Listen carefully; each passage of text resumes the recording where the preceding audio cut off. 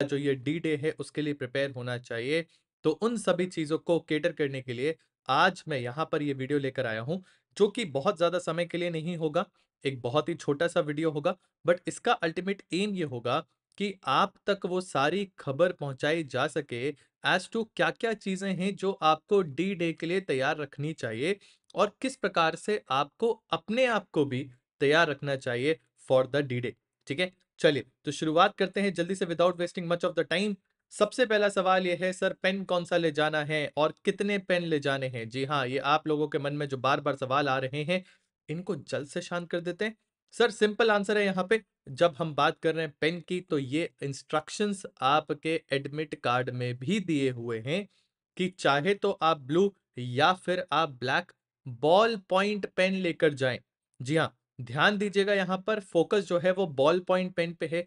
Please ऐसा मत करिएगा कि आप जो है वो फोकस कर रहे हैं कि सर क्या मैं जेल पेन ले जा सकता हूँ इंक पेन ले जा सकता हूँ I am more comfortable in writing with gel मैंने कभी बॉल पेन से नहीं लिखा। ये सारे सब्जेक्ट मैटर्स आपके मन में नहीं आने चाहिए। Why am I saying that because आपको यहाँ पर भरने होंगे O M R sheets and जैसा कि आपको पता है ओ एम आर में क्या होता है कि आपको जो है सर्कल्स जो है वो जल्द से जल्द फिलअप करने हैं। अब जब सर्कल्स फिलअप कर रहे हो तो जो ओएमआर की सेंसिंग मशीन होती है, वो आपके जेल पेन या बाकी ऐसे किसी पेन को उतनी अच्छी तरह से सेंस नहीं कर पाती है। इसलिए ये सजेस्ट किया जाता है ताकि ओएमआर के जो वो सर्कल्स हैं, उसके बाहर भी ना निकले and at the same time जो आपका सेंसिंग है, वो प्रॉपर तरीके से हो सके। इसीलिए हम कहते हैं कि ब्लैक बॉल पॉइंट पेन जो है, वो आप लेकर जाइए। हाउएवर किस कंपनी का ले जाना है, वो आपकी चॉइस है, बट मेरी तरफ़ से रिकमेंडेशन ये है कि जो भी कंपनी का आप ले जाएँ, ये इंश्योर करें कि वो मोटी निब वाला होना चाहिए। जी हाँ वो थोड़ी सी थिक निब का अगर होगा तो आपका टाइम जो है वो बच जाएगा सर्कल्स फिल करने में आपको जो है सर्कल्स फिल करने में उतनी ज़्यादा इशू जो है वो नहीं होने वाला है। इसीलिए जैसे कि ये एक रिनॉल्ड्स का पेन यहाँ पर बना हुआ है, इस प्रकार का पेन जो है वो आता है और वो आपको ईजिली मदद करेगा ताकि आप अपने ओएमआर जो है वो फिल कर सकें। इसके अलावा अगला क्वेश्चन जो है वो है एडमिट कार्ड का। सर, क्या हमें एडमिट कार्ड प्रिंट कराना है? अगर कराना है तो वो एडमिट कार्ड हमें क्या ब्लैक एंड वाइट प्रिंट कराना है या कलर्ड कराना है?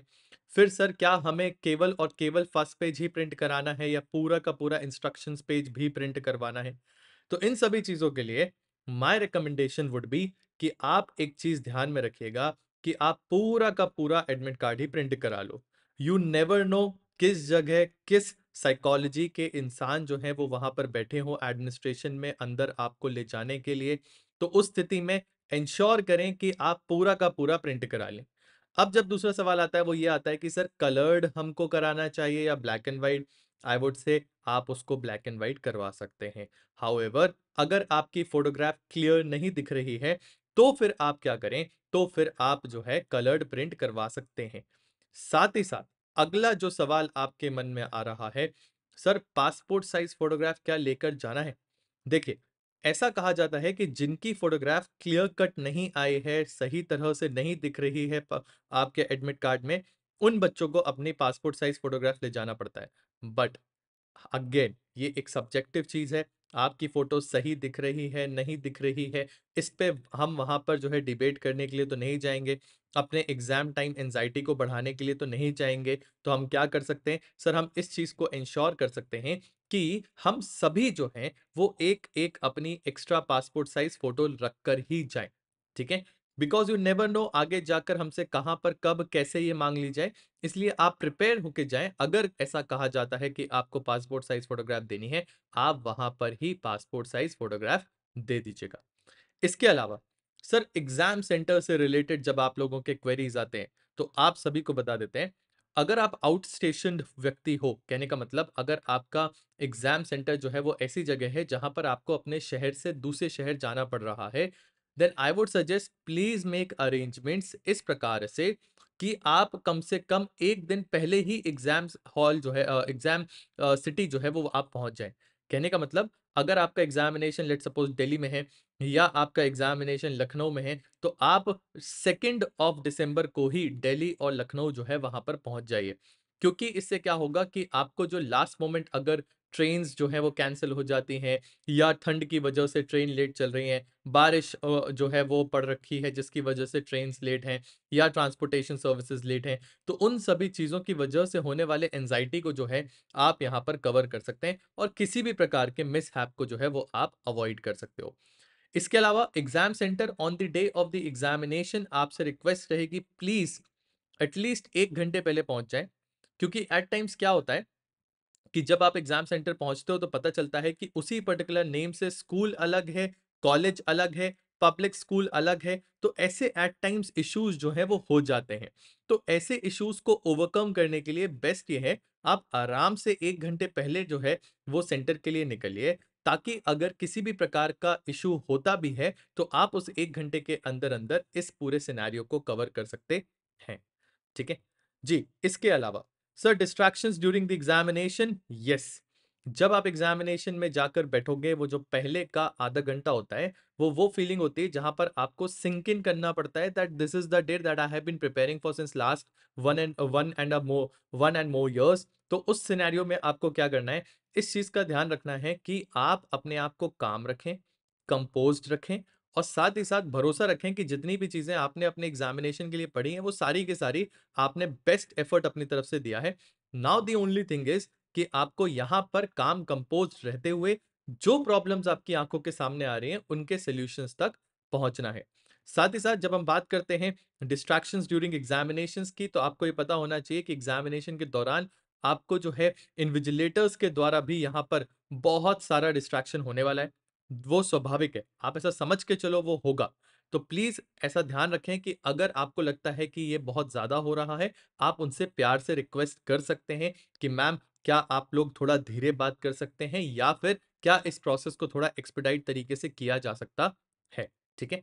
जी, इसके अलावा, sir, please do keep your ego aside at times क्या होता है, बच्चे सोचते हैं कि मैंने पूरे साल जो है, वो क्वांट की तैयारी बहुत अच्छे से करी थी एंड अगर वहाँ जाकर आपको क्वांट के क्वेश्चंस नहीं बनते हैं या फिर क्रिटिकल रीजनिंग आपने बहुत अच्छा पढ़ा था बट अगर वहाँ पर आपको क्वेश्चंस नहीं बन रहे तो ऐसा मत करिएगा कि आप एक ही पर्टिकुलर सेक्शन में लगे रह जाएँ कि आखिर आंसर क्यों नहीं निकल रहा है क्वांट का? मैं ऐसे कैसे छोड़ सकता हूँ? मुझे इस चीज़ को क्लैरिफाई करना ही होगा।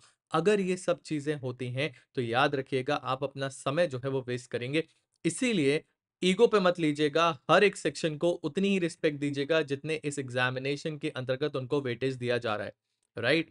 चलिए, इसके अलावा yes from the very first moment till the last moment you are out of the centre be in a war time mode आपको मिशन मोड में रहना होगा, भले ही आपका पेपर के स्टार्टिंग के पाँच क्वेश्चंस अच्छे नहीं जाते हैं, दस क्वेश्चंस अच्छे नहीं जाते हैं डीमोरलाइज नहीं होना है मैंने आपको बता रखा है you always have to tackle one question at a time one problem at a time तो इसीलिए इस चीज़ को ध्यान में रखें कि जितने भी क्वेश्चंस आप कर रहे हो टिल द लास्ट ओएमआर में मार्क किया हुआ आंसर तब तक आप मिशन मोड में हैं। तो अपने आप को बिल्कुल भी किसी भी तरह से बिखरने ना दे, क्योंकि मुझे पता है ये शॉर्ट्स और रील्स की जनरेशन है तो हमारा मन बहुत जल्दी ही विचलित हो जाता है, हमारे अंदर पेशेंस की कमी होती है, बट आपसे रिक्वेस्ट रहेगी वो दो घंटे आपको वहाँ पर बैठने हैं तो प्लीज़ अपने थॉट प्रोसेस को इधर उधर मत जाने दीजिएगा। आपका फोकस केवल और केवल एग्जामिनेशन में पूछे गए सवालों पे होना चाहिए और उनको जो है किस तरीके से सॉल्व किया जा सकता है, इस उम्मीद के साथ आप जो है आगे बढ़ेंगे। ठीक है? चलिए, इसी के साथ मैं आपसे लेना चाहूँगा विदा, बट विदा लेने से पहले आप सभी को बता देता हूँ, वो बच्चे जो हमारे साथ जुड़ना चाहते हैं for their CLAT and other law entrance examination की preparation Unacademy thirtieth of November तक आपके लिए लेकर आया है एक बहुत ही अच्छा डिस्काउंट जहाँ पर आपको थर्टी परसेंट तक का डिस्काउंट मिलेगा हमारे आइकॉनिक और प्लस सब्सक्रिप्शन में प्लस इसके साथ साथ वन मंथ का फ्री एक्सटेंशन भी आपको दिया जा रहा है। करना क्या है? सर, ये कोड जो आपको यहाँ पर दिख रहा है, इस कोड का आप उपयोग कर सकते हैं और अपने आप को रजिस्टर कर सकते हैं इस प्रोग्राम में। एंड इफ़ इन केस आप अभी इलेवेंथ क्लास में हैं एंड आप 2025 का एग्जामिनेशन देना चाहते हैं तो उस स्थिति में अन अकेडमी आपके लिए नॉलेज कार्निवल जो है, वो रन कर रहा है। As per this knowledge carnival, अगर आप 12 मंथ्स का क्लैड का प्लस या क्लैड का आइकॉनिक सब्सक्रिप्शन परचेज करते हैं तो फोर मंथ्स का सीबीएसई क्लास 11th का प्लस और आइकॉनिक सब्सक्रिप्शन आपको फ्री ऑफ़ कॉस्ट देखने के लिए मिलेगा। तो जितना भी स्टडी मटेरियल है, आप वो डाउनलोड कर सकते हो, टेस्ट सीरीज़ डाउनलोड कर सकते हो, क्लासेस जो है वो अटेंड कर सकते हो, बट ये आप कैसे अवेल कर सकते हैं? एक कोड का यूज़ करने पे जब आप अपने आप को रजिस्टर कर रहे हो, and that code is bar five. जैसे ही आप कोर्स परचेस करने जाएँ B A R five being Aditya Rai army five इसको जो है, आपको यहाँ पर जो है फ़ीड करना है। जैसे ही आप इसको इनपुट करेंगे you will get to see the maximum discount इसके अलावा सर क्लैट 2024 के बच्चे, आप सभी के लिए बता देते हैं रैंकर्स रिवॉर्ड प्रोग्राम जो है, वो अन अकेडमी के द्वारा रखा गया है, जहाँ पर जो भी बच्चे अच्छा रैंक लेकर आएँगे, उनको टेन लाख रुपीस का पूरा कॉर्पस एज अ रिवॉर्ड रखा गया है। वन से लेकर टेन तक जो भी बच्चे आते हैं, उनको अ, maximum of two point five lakh rupees तक का रिवॉर्ड दिया जाएगा। इलेवन से फिफ्टी को जो है वन लाख रुपीस का अवार्ड दिया जाएगा। फिफ्टी वन से हंड्रेड को जो है zero point five lakh rupees और अगर आपका रैंक हंड्रेड से ऊपर आता है तो आपको टू पॉइंट फाइव के, यानी कि ढाई हज़ार का जो है, यहाँ पर वाउचर दिया जाएगा। करना कुछ नहीं है, ये जो आपको क्यू आर कोड दिख रहा है, यहाँ पर जाकर अपने आप को रजिस्टर करें, ताकि आपको जो है इस चीज़ के लिए रजिस्टर किया जा सके। इसी के साथ अब आपसे लेना चाहेंगे विदा।